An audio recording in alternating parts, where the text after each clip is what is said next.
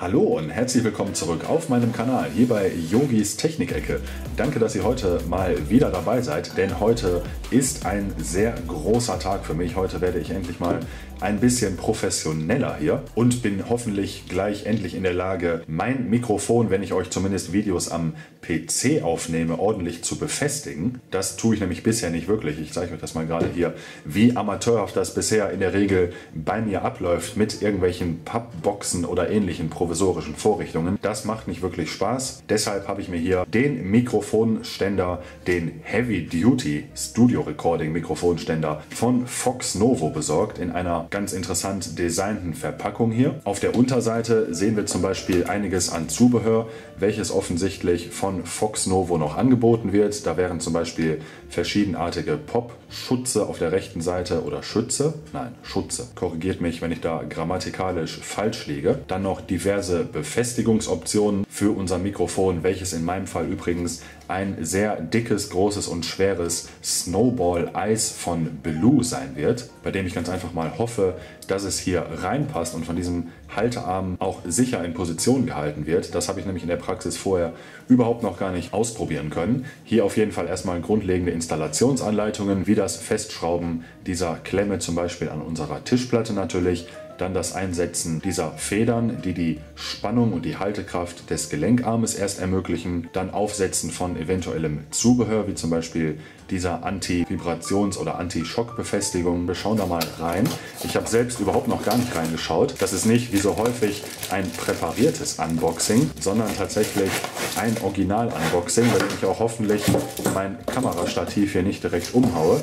Dann zeige ich euch nämlich im nächsten Review direkt ein neues Kamerastativ. Das brauche ich eigentlich nicht. So, was haben wir denn hier? Das ist erstmal, fangen wir mit dem uninteressantesten oder dem kleinsten zumindest an, ist die Befestigung für ein Standardmikrofon, wie zum Beispiel auch ein Kondensatormikrofon von Tonor, welches ich euch vor einiger Zeit mal auf meinem Kanal vorgestellt habe. Hier natürlich mit Gelenkarm, hier die leicht dehnbare Halterung natürlich für die Mikrofonkörper, wo ich wie gesagt hoffe, dass da mein Snowball Eis von Blue reinpasst, welches zugegebenermaßen wie gesagt sehr dick ist. Hier unten ein Schraubaufsatz, der wird wahrscheinlich hier gleich irgendwo am Arm befestigt. Den schauen wir uns natürlich gleich an. Erstmal haben wir hier die Klemme bzw die Zwinge, die Schraubzwinge für die Befestigung des Ganzen an unserer Tischplatte. So sieht dieses gute Stück aus. Hier haben wir eine einfache Vorrichtung, um das Ganze loszuschrauben oder auch festzuschrauben. Ich löse das Ganze mal.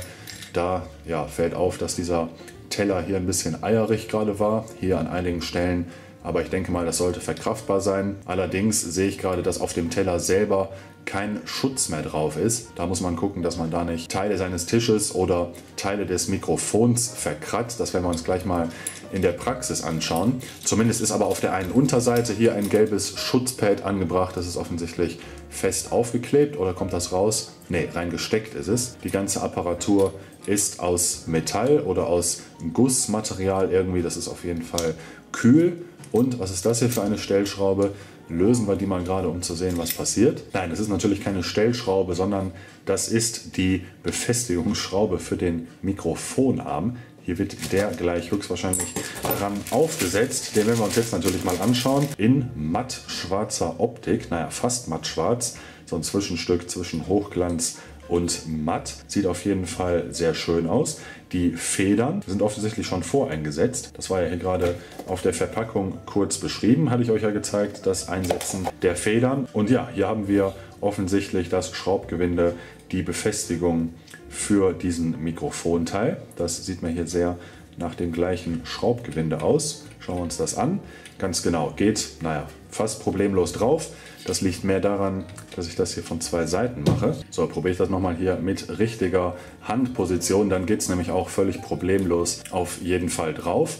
Das lässt sich dann ja, hier noch komplett feststellen mit dem unteren Rad, sodass es wirklich bombenfest ist. Das kann man auf jeden Fall mal sagen. Hier würde ich ja problemlos gegenschlagen bzw. gegenkommen während der Arbeit irgendwie, ohne dass das Mikrofon verrutscht. Dann haben wir hier, Achtung, den Gelenkarm mit den, wie gesagt, vormontierten Federn. Und hier, genau wie übrigens hier oben am Mikrofonende, einigen Verstellrädchen, mit denen wir die jeweiligen Gelenkteile lösen können, um sie natürlich in der Position im Winkel zu verstellen und anschließend wieder festzustellen. Das gleiche hier damit wir dieses Gelenk hier bequem bewegen können. Hier ganz unten dann das ja zugegebenermaßen für das Gewicht des restlichen Armes sehr dünn designte Standrohr, wie ich finde.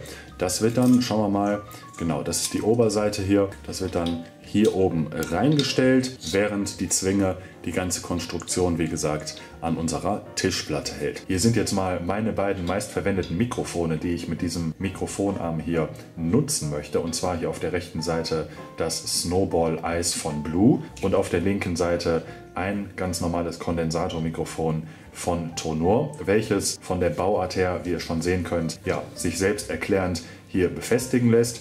Das wird ganz einfach zum Beispiel von dieser Seite hier mit ein bisschen Druck am Anfang, da das hier noch sehr stramm ist, reingeschoben und ja, hält dann wunderbar. Das Kabel würden wir natürlich nach hinten über den Mikrofonarm laufend verlegen. Für diese Mikrofonbauart braucht ihr hier oben an dem Arm nichts zu ändern. Wenn ihr jetzt aber zum Beispiel dieses Snowball Eis hier von Blue habt oder ein anderes Mikrofon mit einer anderen Bauart, dann seht ihr schon, das wird nicht wirklich in dieser Halterung hier halten. Brauche ich euch gar nicht großartig zeigen. Das ist vergebens, das hält nicht. Was aber interessant ist, schauen uns erstmal diese Sache am Mikrofonarm an, ist, dass wir ja diese Mikrofonhalterung hier oben abschrauben können. Das zeigte ich euch ja schon. Dann kommt dieser Schraubsockel wieder zum Vorschein. Und wenn wir uns dann nochmal das Snowball Eis Mikrofon genau anschauen, welches ja hier unten ein kleines Stativ hat, das können wir nämlich rausdrehen und dann, Überraschung, kommt tatsächlich dieses Gewindedurchmesser hier wieder zum Vorschein, nämlich ganz genau hier. Dort kann ich mir jetzt den Mikrofonarm wieder hernehmen. Das ist immer ja, ein bisschen sperrig hier. So, den nehme ich mir her. Na, falsches Loch.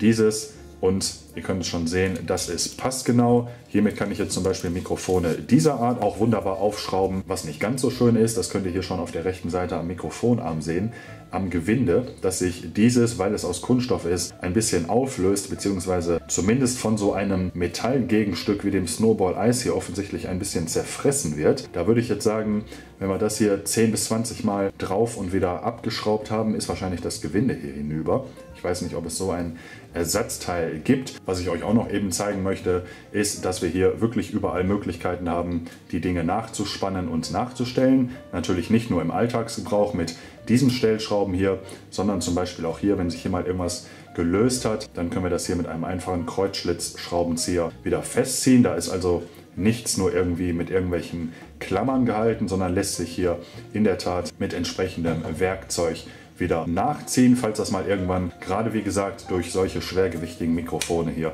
ein bisschen ausgeleiert sein sollte. Ich musste jetzt gerade hier mal eine Zange zur Hilfe nehmen, da dieses Gewinde aus irgendeinem Grund so fürchterlich fest hier oben drauf verschraubt war. Das wollte ich nämlich noch mal eben runternehmen, um euch zu zeigen, dass sich hier drunter tatsächlich ein ganz normales Kamerastativgewinde noch mal befestigt. Also wir haben hier genau genommen drei Möglichkeiten der Befestigung. Einmal hier mit der standardmäßig montierten Befestigung die Anbringung von klassischen Kondensatormikrofonen zum Beispiel, dann durch die Nutzung dieses Schraubadapters hier die Nutzung von Mikrofonen mit einem solchen Gewindeadapter hier und aber auch die Anbringung von sämtlichen Geräten, die ein ganz normales Kamerastativ nutzen. Das finde ich auf jeden Fall eine coole Sache. So könnte ich den Mikrofonarm hier im Grunde genommen zweckentfremden und auch als Kamerastativ am Tisch befestigt missbrauchen. Aber ich denke mal, den meisten von euch geht es um die Nutzung als Mikrofonarm. Deshalb baue ich jetzt mal mein Snowball Eismikrofon wieder hier oben dran und nehme euch dann mit zu meinem Schreibtisch zum endgültigen Standort, wo wir das Ganze jetzt mal zusammen an einer Tischkante montieren gehen. Kommt mit. Da sind wir an meinem Schreibtisch und hier sitze ich für gewöhnlich und nehme euch, wie ich euch das eingangs schon einblendete, sehr amateurhaft auf einem Pappkasten meine Videos auf. Und ja, das möchte ich jetzt ändern, indem ich an diese äußere Tischkante hier meinen Mikrofonarm montiere. Der liegt hier samt Snowball Eismikrofon. Was wir jetzt zuallererst mal tun, ist natürlich uns diese Tischhalterung hier vorzunehmen. Dazu habe ich meine Kamera jetzt mal eben hier auf dem Stativ befestigt, damit ich beide Hände frei habe. Die brauche ich nämlich, um das hier ein bisschen festzuhalten. Und dann hier unten mit übrigens diesem sehr hilfreichen Stift hier festzudrehen. Der ist zwar sehr hilfreich, kann aber jetzt auch nicht mehr entfernt werden leider. Der bleibt dauerhaft hier drin stehen, deshalb solltet ihr aufpassen, dass der nicht zum Beispiel nach außen hier raussteht. Das wäre kontraproduktiv, da könnte man sich vielleicht irgendwelche Kleidung oder sonst was dran beschädigen. So zeigt er unter den Schreibtisch. Das Ding hier sitzt bombenfest. Bevor es jetzt zu sonnig hier drin wird und ihr gleich gar nichts mehr seht, würde ich sagen, nehmen wir uns ganz einfach den Mikrofonarm her und positionieren den, wie gesagt, mit diesem Stift ganz einfach hier in dieser Öffnung. Wenn ich sie dann treffe, ganz genau so runterlassen. Und ja, wie ihr sehen könnt, war es das im Grunde genommen schon. Der Mikrofonarm ist in Position. Den können wir uns jetzt natürlich hier so hinbewegen, wie wir das brauchen. Anschließend, ihr könnt es schon sehen, ich kann ihn jetzt noch völlig frei nach links und rechts drehen. Anschließend, wenn wir unsere Position gefunden haben, sollten wir hier unten diese Stellschraube stramm ziehen, damit der Arm eben nicht mehr ungewollt hin und her schwenken kann. Könnt ihr sehen, der steht jetzt hier einigermaßen fest auf jeden Fall. Und zusätzlich können wir natürlich auch, nachdem wir hier unseren Winkel eingestellt haben und natürlich auch hier vorne unseren Mikrofonwinkel eingestellt haben, die entsprechenden Stellschrauben hier anziehen, damit das Ganze auch in Position bleibt. Wie ihr sehen könnt, scheint der Mikrofonarm zumindest jetzt hier im Neuzustand keine Probleme zu haben, auch so ein schwergewichtiges Mikrofon wie das Snowball Ice von Blue zu tragen. Da hatte ich in einigen Rezensionen und Bewertungen gelesen, dass sich die Gelenke nach einiger Zeit hier ausleiern. Da muss man dann schauen, inwiefern man die unter Umständen nachstellen kann mit den hier angebrachten Kreuzschlitzschrauben, wie ich euch das ja gerade zeigte. Im Ersteindruck hier macht das aber auf jeden Fall ein sehr gutes und stabiles Bild. Wie gesagt, das Snowball Eismikrofon von Blue, das ist ein ziemliches Gewicht. Das sind normale Kondensatormikrofone wie dieses hier. Eher leichtgewichtig gegen, damit sollte man überhaupt gar keine Probleme haben, diese stabil und auch dauerhaft stabil an dem Arm hier zu befestigen. Wie gesagt, mit dieser Standardbefestigung hier, die möchte ich jetzt nicht nochmal hier zu Demo-Zwecken aufschrauben da das Kunststoffgewinde darunter hier wie gesagt darunter sehr leidet. Das habt ihr ja gesehen. Ansonsten kann ich nichts Schlechtes über den Mikrofonarm sagen. Der wird mir jetzt hier hoffentlich einige gute Dienste leisten und ich brauche mein Mikrofon nicht mehr so amateurhaft auf irgendwelchen Pappkisten aufstellen. Für das richtige Profi-Gefühl fehlt natürlich noch das gewisse Extra. Ihr habt es schon geahnt, ein Popschutz, den habe ich hier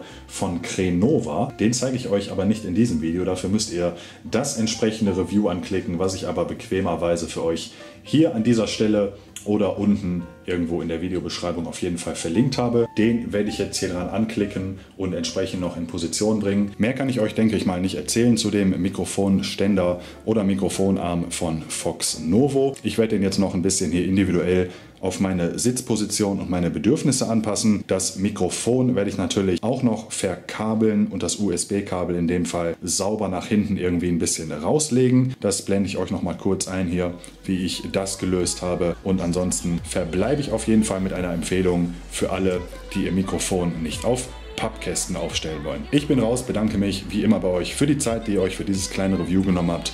Würde mich freuen, wenn ihr mir eine positive Bewertung da lasst. Wenn euch das weitergeholfen, informiert oder unterhalten hat, macht's gut. Ich wünsche euch eine schöne Zeit. Ciao, ciao.